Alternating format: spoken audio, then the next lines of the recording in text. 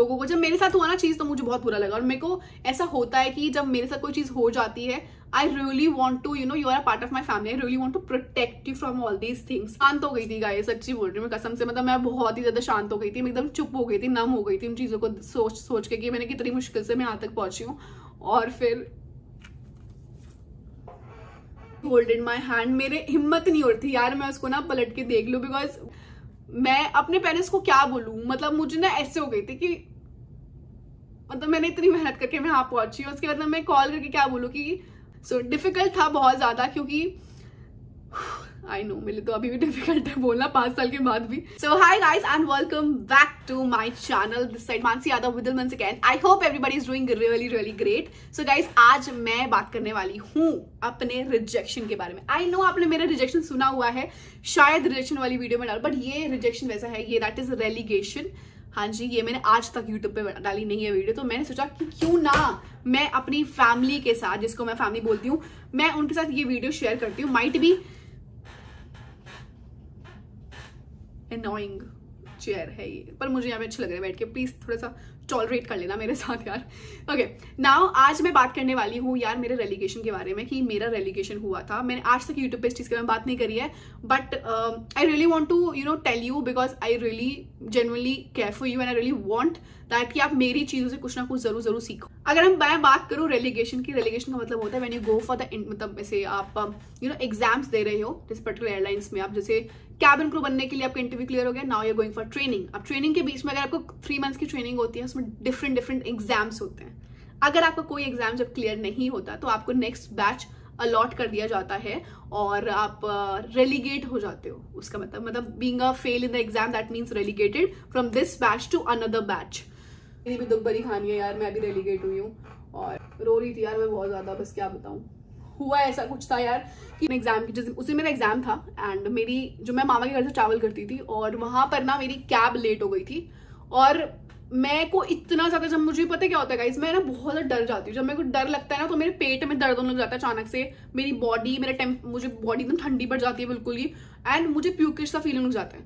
Normally हर किसी को इंसान को अलग अलग फील होता होगा डेफिनेटली कमेंट सेक्शन में तुम लोग बताना, मुझे तुम लोग को कैसा फील होता है बट मुझे तो भाई ऐसा ही फील होता है। और मुझे बहुत ही ज़्यादा ऐसा लगता है कि यार, मेरे पेट में दर्द हो रहा है, मुझे ये हो रहा है, मुझे उल्टी हो रही है।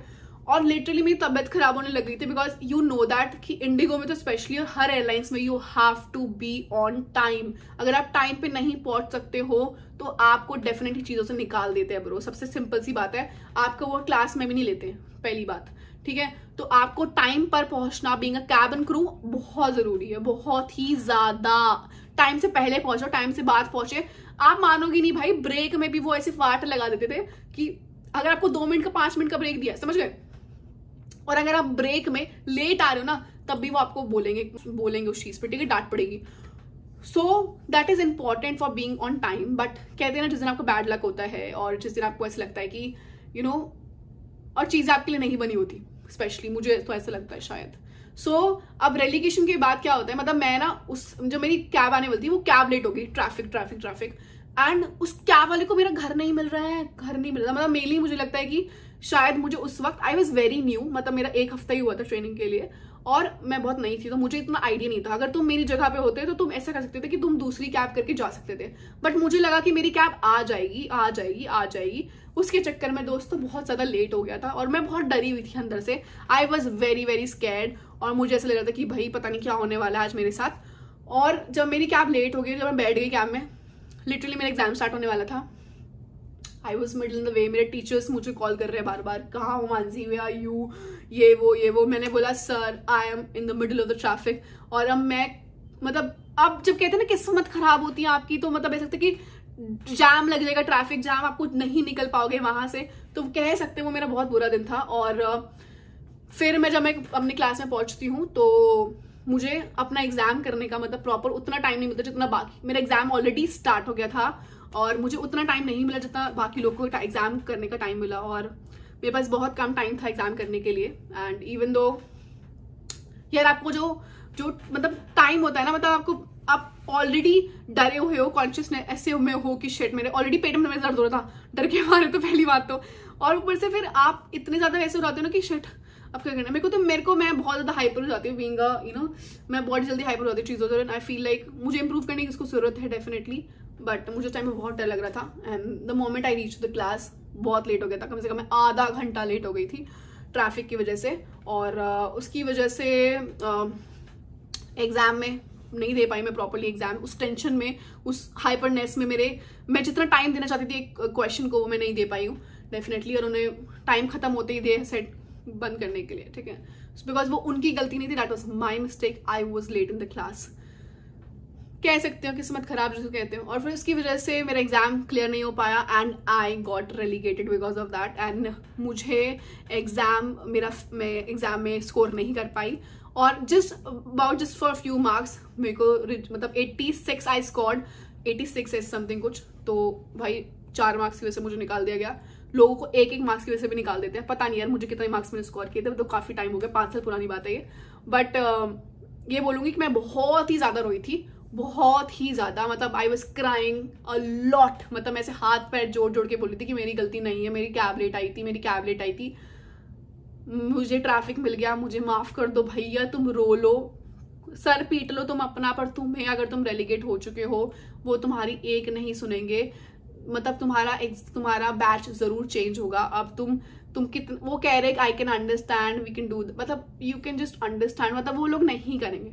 समझ गए? तो जो लोग अभी एग्ज़ाम्स के लिए प्रिपेयर कर रहे हैं, जो लोग कैबिन क्रू है सो बस ये बोलना चाहूँगी प्लीज़ गाइज़ प्लीज़ बस ये बोलना चाहूँगी ट्राई टू फोकस और पढ़ाई कर लो। बस तीन मंथ की बात है, उसके बाद मज़े करो पार्टी करो, जो मन कर रहा है वो करो। बिकॉज़ थ्री मंथ्स में तो you know you have to be very focus जो मैंने सीखा, जो मैंने सीखा just be on time because that really really very very important और टाइम की वजह से जब मैं टाइम पे नहीं पहुँच पाई थी बिकॉज़ ऑफ़ दैट मैं अपना एग्ज़ाम नहीं क्लियर कर पाई थी। और उसकी वजह से मतलब तुम मानोगे नहीं I was feeling so so so bad मैं अपने पेरेंट्स को क्या बोलूँ? मतलब मुझे ना ऐसे हो गई थी कि मतलब मैंने इतनी मेहनत करके मैं यहाँ पहुँची उसके बाद मैं कॉल करके क्या बोलूँ कि उस दिन मेरा पूरा डे कंप्लीट भी नहीं हुआ था। मैंने उसी दिन मुझे एग्ज़ाम दिया था लेट पहुँची और फिर उसके बाद खत्म एग्ज़ाम और रो लो, पीट लो, और मैं रोए जा रही हूँ रोए जा रही हूँ रोए जा रही हूँ।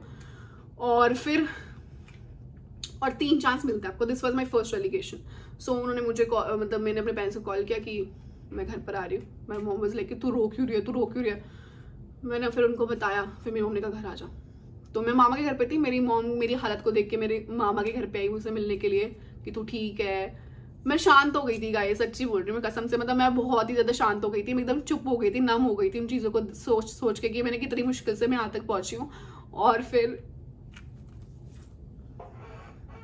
यार it was so difficult for मतलब हर किसी के लिए जो जर्नी तक पहुँचता है एंड उसके बाद रेलीगेट होना उसके बाद मतलब वो दोस्त मेरे दोस्त बहुत सारे बन गए थे और मेरी जो बेस्ट फ्रेंड थी महक। सो so, यार तुम मानोगे नहीं जब मैं उठ के मुझे दूसरे बैच में भेजा जा रहा था she hold in my hand मेरे हिम्मत नहीं हो थी। यार मैं उसको ना पलट के देख लूँ बिकॉज़ वो उधर से रो रही थी और उधर से मैं रो रही थी। वी आर बोथ क्राइंग क्योंकि हमने स्टार्टिंग से बिकॉज़ हम लोगों ने साथ में इंटरव्यू दिया है उसके बाद फिर ये जर्नी ऐसे प्रॉपर करना। सो so, डिफ़िकल्ट था बहुत ज़्यादा क्योंकि आई नो मेरे तो अभी भी डिफ़िकल्ट है बोलना पाँच साल के बाद भी। पाँच साल होने वाले हैं तो ऑलमोस्ट यही बोलूँगी यार मतलब इट वॉज़ वेरी डिफ़िकल्ट मुझे बैच मुझे समझ में आता है यार बैच छोड़ के जाना कहीं और जाके वापस से चीज़ें स्टार्ट करना it was very difficult definitely अपने दोस्तों को छोड़ना सबसे मुश्किल बात वो थी मेरे लिए। और फिर जब मैं स्पेशली जब आपको बैच नहीं मिलता गाइस तब जब तक आपका नया बैच नहीं आएगा तब तक आपको वेट करना पड़ता है उस बैच के लिए। तो आपका बैच जिसमें आप रेलीगेट हुए वो तो चला गया बैच आके निकल गया। अब आपको वेट करना पड़ेगा जब वो नया बैच आएगा तब आपको बैच में डालेंगे ठीक है? मैंने वेट किया फिफ्टीन डेज़ तो मेरा ट्रेनिंग लेट हो गया। अभी आ, फिर नए दोस्त बने नया बैच मिला। बट अब समझ में आ गया था कि I have to be on time and you have to be on time और टाइम बहुत ज़्यादा इंपॉर्टेंट मैटर करता है.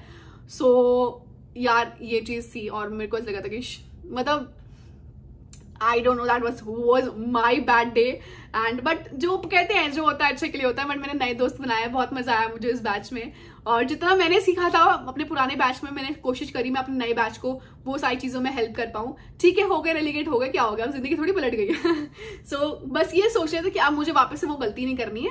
लेट नहीं होना है क्लास में I have to be on time क्योंकि जब मैं लेट होती हूँ ना मैं बड़ी जल्दी हाइपर हो जाती हूँ चीज़ों के लिए और मुझे डर लगना था और मेरी तबियत खराब हो जाती है बहुत ज़्यादा।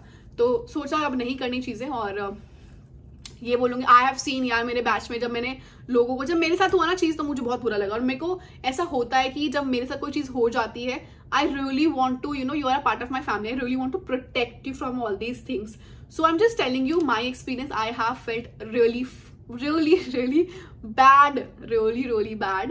So please आप उन चीज़ों से बच जाना। Please please please try to study a lot और टाइम्स पे पहुँचना बहुत ज़रूरी है जैसे मैंने आपको बोला। सो so, प्लीज़ उन चीज़ों का ध्यान रखना एंड ये वीडियो मैंने आज तक कभी पोस्ट नहीं करी बट आई थॉट कि मुझे शेयर करना चाहिए और मुझे आपको बताना चाहिए ये चीज़। आना चाहिए कि you know what I have gone through और मैं नहीं चाहती आप उस चीज़ों से गुजरो। So in the same way I really care for you and guys training के टाइम पे फोकस होकर पढ़ना बहुत ही ज़्यादा इंपॉर्टेंट है। अदरवाइज़ जो जर्नी कंप्लीट करके आए हो, वापस अधूरी रह जाएगी। सो आई डोंट वॉन्ट कि आप अपना कोई ड्रीम अपना सपना छोड़ो। सो प्लीज़ येस एंड एक एक मार्क्स से भी निकाल दे ज़रूरी नहीं गाइस एक मार्क्स है तो कह देंगे चलो कर लो। नहीं होता यहाँ पे ऐसा कुछ नहीं है। कुछ भी नहीं है गाइस एक मार्क्स से भी निकाल देते हैं। So please try to focus and study बस फॉर थ्री मंथ्स एंड उसके बाद फिर उसके बाद मेरी अच्छे से ग्रेजुएशन हुई गाइस मेरे नए बैच में बहुत अच्छा रहा बहुत सारे फ्रेंड्स बने। और डेफिनेटली uh, मैंने मेरे को लास्ट में मेरे बैच वालों ने मुझे एक अवार्ड दिया था। दैट वाज पियर्स अवार्ड की रिगार्डिंग uh, की जिसने सबसे ज़्यादा हेल्प करी हो बैच में मैनेज किया हो। तो I was the one for them मेरे पूरे बैच ने मुझे वोट किया था।